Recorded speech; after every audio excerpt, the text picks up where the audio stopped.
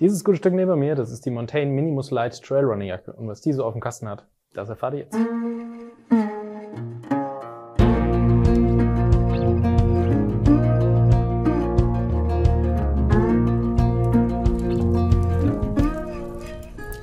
Ja, hallo zusammen, mein Name ist Jörn und das hier neben mir ist, wie schon gesagt, die Montaigne Minimus Light Trail Running Jacke. Als ich vor knapp elf Jahren mit Trailrunning angefangen habe, ähm, war meine erste Jacke tatsächlich auch von Montaigne und zwar die Minimus ohne Light. Und ich war damals ziemlich angetan von dem guten Stück. Ist auch kein Wunder, weil Montaigne, wer es nicht weiß, ist eine britische Marke. Das heißt, die haben relativ viel mit Regenwetter zu tun und da kann man natürlich auch erwarten, dass die da relativ gute Regenjacken auf den Markt schmeißen. Und äh, ich war dann tatsächlich aber ein paar Jahre mit anderen Herstellern unterwegs, also mit anderen Regenjacken von anderen Herstellern. Und umso gespannter war ich jetzt, wie die Montaigne Minimus Light denn so performt und durfte die jetzt auch ein paar Mal testen. Und was ich für eine Meinung zu dem guten Stück habe, das erfahrt ihr gleich, aber vorher schauen wir uns kurz noch die Features an. Montaigne hat bei der Minimus Light das sogenannte Pertex Shield Material verbaut. Das ist ein zweieinhalb Lagen Material, ist natürlich wasserdicht, sonst würden wir hier nicht von einer Regenjacke sprechen. Ähm, und wir haben äh, natürlich eine gute Atmungsaktivität dabei, was ja beim Trailrunning auch sehr von Vorteil ist. Äh, und zudem hat das Material auch so einen ganz leichten Stretch. Was man außerdem sagen kann, ist, dass es sich ähm, relativ weich anfühlt. Also es fühlt sich gar nicht so sehr nach Hardshell an. Ist eher so ein bisschen softshellig vom Griff her, was natürlich auch den Tragekomfort erhöhen soll.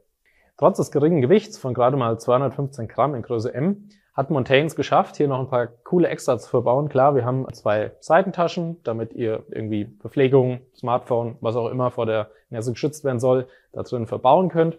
Ihr habt hier unten einen kleinen Kordelzug, was auch immer cool ist, wenn äh, natürlich der Wind viel bläst, dass ihr einfach die Jacke ein bisschen besser abschließen könnt. Die Ärmelbündchen sind elastisch, das heißt, die schließen hier auch so ein bisschen ab. Ihr habt natürlich eine Kapuze dran, auch die kann nochmal angepasst werden. Und ihr habt ein kleines Schild dran, also hier vorne, damit auch da einfach ein bisschen mehr Wetterschutz, ein bisschen mehr Sichtschutz da ist.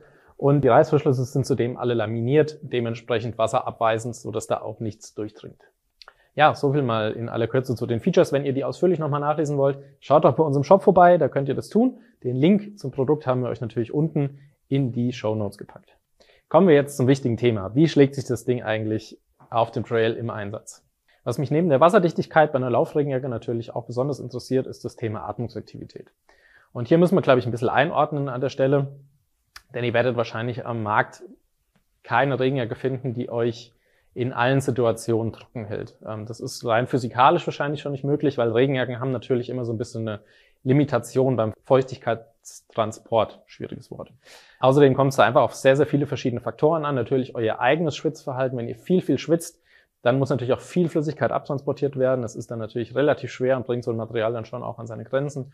Aber, und das muss man auch sagen, es ist immer besser, wenn ihr von innen warm nass werdet, also durch euren Schweiß, durch eure Körpertemperatur, als wenn das Wasser von außen an euren Körper drankommt, vielleicht noch mit Wind. Das sorgt dann dafür, dass er auskühlt. Hier muss ich sagen, hat die Montaigne Minimus Light tatsächlich relativ gut performt. Ähm, ich bin auch gerade gestern nochmal ohne Regen zwar, aber bei ja so 7, 8 Grad und leichtem Wind relativ steil bei uns die Burg Hoheneufen hoch. Das war schon relativ anstrengend. Ich bin gerade nicht so gut in Form, aber ich hatte tatsächlich relativ kleine Schweißränder, als ich oben war. Also ich hatte ein äh, kurzärmeliges Unterhemd drunter. Das war dann ziemlich perfekt. Was die Wasserdichtigkeit angeht, ähm, auch hier würde ich sagen, top. Bei einem Lauf, da war so richtig Schmuddelwetter, da hat es geregnet, da war Wind, wir hatten nur leichte Plusgrade. Ich hatte da ein langärmeliges Merino-Unterteil ähm, dabei, extra in hellgrau angezogen, damit ich gucken konnte, ob was durchkommt. Und auch hier, ich hatte leichte Schweißränder unter den Armen, aber die Schultern, was ja oft so ein Indiz ist, wo es meistens reinkommt, die waren trocken und ich bin auch viel mit Kapuze gelaufen. Das heißt, auch da konnte ich gucken, die paar Haare, die ich noch auf dem Kopf habe, die waren trocken. Also da gibt's wirklich nichts zu meckern.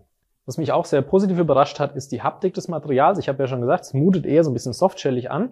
Dadurch habt ihr natürlich auch einen hohen Tragekomfort und wir haben so einen leichten Stretch, was natürlich sehr bewegungsfreundlich ist. Ich habe die Jacke in Größe M. Dadurch liegt sie relativ körpernah an. Falls ihr ein bisschen mehr Luft braucht oder auch für mehr Lagen und drunter, könnt ihr sie in L nehmen. Da hätte sie mir auch noch gepasst. Wie gesagt, mit einfach ein bisschen mehr Luft drunter. Was mir auch ziemlich gut gefallen hat, ist, dass die Kapuze ein bisschen anpassbar ist. Ich finde es immer total schrecklich, wenn man eine Kapuze aufzieht, wo kein Kordelzug oder so dran ist und die schlecht geschnitten ist und man den Kopf dreht und dann halt die Innenseite der Jacke ähm, sieht. Das ist irgendwie dann immer blöd. Das hat Montaigne hier super gelöst. Wie gesagt, auch hier das Verhältnis von Gewicht zu Features, das ist wirklich richtig, richtig gut. Was wir auf jeden Fall auch noch erwähnen können, ist die Packbarkeit. Also sie ist relativ klein verpackbar und äh, passt da irgendwie auch gut in jeden Trailrunning-Rucksack rein.